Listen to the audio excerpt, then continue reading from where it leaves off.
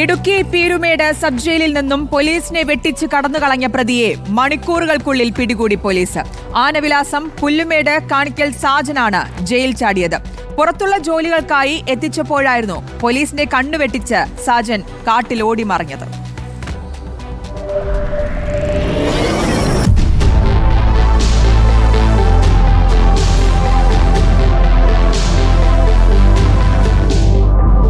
ഇന്നുച്ചയ്ക്ക് ഒരു മണിയോടെയായിരുന്നു. പോലീസിനെ വെട്ടിലാക്കി പീരുമേട് സബ് ജയിലിൽ റിമാൻഡിൽ കഴിഞ്ഞിരുന്ന പ്രതി സജൻ ഓടി രക്ഷപ്പെട്ടത്. ജയിലിന് പുറത്തുള്ള പണികൾക്കായി സെല്ലിൽ നിന്നും പുറത്തെത്തിച്ചപ്പോഴാണ് പോലീസിന്റെ കണ്ണുവെട്ടിച്ച പ്രതി സമീപത്തെ കാട്ടിലേക്ക് ഓടി മറഞ്ഞത്. ഒപ്പമുണ്ടായിരുന്ന പോലീസുകാർ പുറകെ പോയെങ്കിലും പ്രതിയെ കിട്ടിയില്ല. ഇതോടെ കൂടുതൽ പോലീസിനെ ഉപയോഗിച്ച് തെരച്ചിൽ ഊർജിതമാക്കി. പ്രതി തമിഴ്നാട്ടിലേക്ക് കടക്കുവാനുള്ള സാധ്യത വരെ പോലീസ് മുന്നിൽ കണ്ടു. ഒടുവിൽ വൈകിട്ട് മൂന്ന് മണിയോടെ പഴയ പാമ്പനാറിൽ വെച്ച് പ്രതിയെ പോലീസ് പിടികൂടി.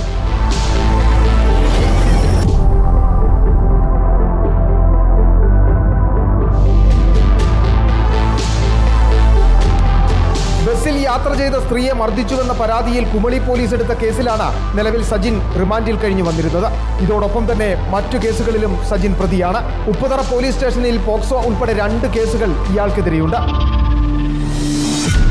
റിപ്പോർട്ടർ ഇടുക്കി.